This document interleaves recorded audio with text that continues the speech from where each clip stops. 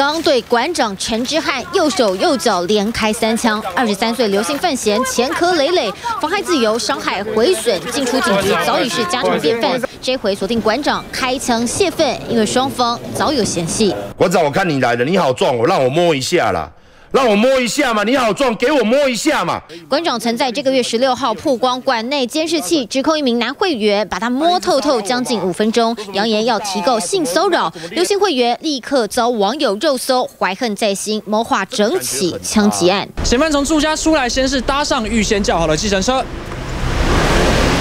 犯案前第一站先是到林口买酒壮胆，再埋伏开枪。随手拦车下计程车，一路往馆长陈之汉所在地前进。途中，嫌犯还停在超商买酒壮胆，又到健身房外前后埋伏三个小时。又等了半个小时，直到陈之汉准备离开健身房时，嫌犯立刻上前连开三枪。以证人身份做完笔录，面带微笑，但不愿回答任何问题。他是载着枪手完成犯案的小黄问讲，强调有听到枪声，但不知道是自己车上这一名乘客开的。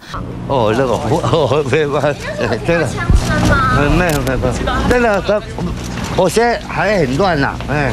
而犯案枪支曝光，外号“小沙漠之鹰”的半自动手枪，威力强，好携带，操作容易，常出现在电影画面中，但在台湾相当罕见。难道纯粹不满遭肉搜就开枪泄愤，还是背后另有藏镜人？警方要抽丝剥茧，厘清整起案件真相。这是台北综合报道。